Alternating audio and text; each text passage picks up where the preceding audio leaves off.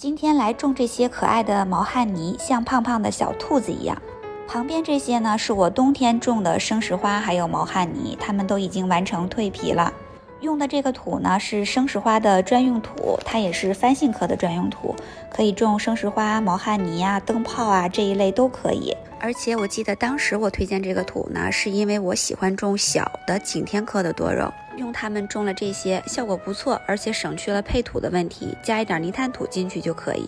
当时有很多朋友买了它，不要浪费啊，真的是很好的东西。你既可以用它来种番杏壳，用不完呢，也可以来种景天植物。这里面还有微量的缓释肥，所以是足够用的。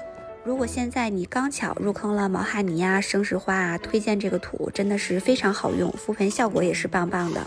里面的成分呢有赤玉土、鹿沼土，有软质的麦饭石，还有稻壳炭，还有一点微量的缓释肥。东西呢都是好东西，非常适合毛汗泥啊、生石花、灯泡这一类，它们的根系本身就是比较弱的，软质颗粒呢就不会伤害到它们的根系。种之前可以在表面先喷一层水，然后扎孔，在种的时候比较好打理。先扎一个大一点的洞，然后把它怼进去。我这次选的都是红色的，然后先把它们种完，之后给大家看一下我冬天种的那些生石花和毛汗泥完成了蜕皮之后，现在的变化有多大。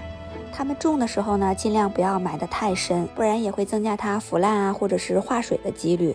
我是觉得这些东西真的是可爱又好养啊！我冬天上盆的那些挂掉的呢，真的是少之又少。景天科如果养不好的，尝试一下这些小可爱，每年蜕皮以后都会从中间长出一个新的小可爱来，还是非常治愈、很有趣的。然后我们来看一下冬天种的第一盆的这个生石花，因为它们种的时候呢比较早，刚好冬天那会儿也属于是生长季，现在的蜕皮呢已经全部完成了。我当时呢是把它们手动掰开了，这样可以加速它的消耗。你们看，消耗完以后也薄得像纸一样。当时蜕皮的时候就像这样，中间呢被撑开了，然后里面长了一个小种子。我就这样用力往两边一扒，然后它就全都露出来了。但是如果你觉得不美观，那就可以不用去管它，但是就不能经常浇水，让它快一点消耗。